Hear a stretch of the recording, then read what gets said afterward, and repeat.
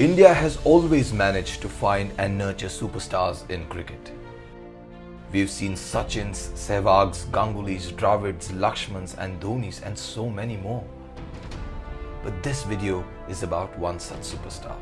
With a torn hamstring, he managed to save the game for India in the recently concluded Sydney Test match. This is Hanuma Vihari's story. Vihari was born on the 13th of October 1993 in the coastal area of Kakinada in Andhra Pradesh. His love for the game was from the age of five. His childhood was never a bed of roses. He lost his father at a very young age of 12 with absolutely no financial support. Despite that, his family sent him to the best coaching academy in the city. With all the situations against him, he continued playing cricket with great passion. His love for the game has made him an excellent successor of the legend VVS Lakshman. In 2010, he made his first class debut for Hyderabad at the age of 17. In 2012, he was a piece of the Indian squad that won the ICC Under 19 World Cup. In 2013, he played for the Sunrisers Hyderabad in the sixth edition of the Indian Premier League. In a game versus RCB, he got the magnificent Chris Gayle out for a golden duck and he also scored a few runs.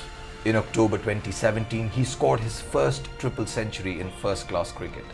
He scored 302 not out for Andhra against Orissa in the 2017-18 Ranji Trophy. He finished the season with a whopping total of over a thousand runs. His hard work and perseverance were recognized later and he was a regular member of the India B squad.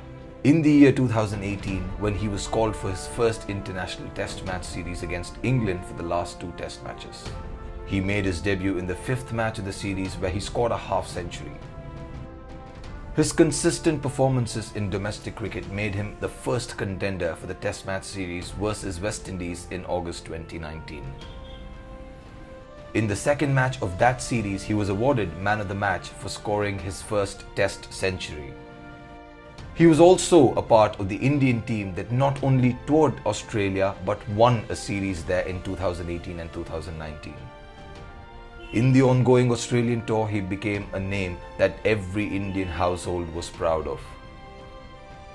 Before the third test match, the series was beautifully poised 1 1. On the final day, with a target of 407 runs and half the Indian side back in the dressing room, he stood his ground despite tearing a hamstring and saved the game for India alongside Ravichandran Ashwin. Before the game, his performances weren't up to the mark and his place in the side was questioned. But a champion like Hanuma Vihari let his bat do the talking. He would never let his teammates or his country down. A true warrior, Hanuma Vihari.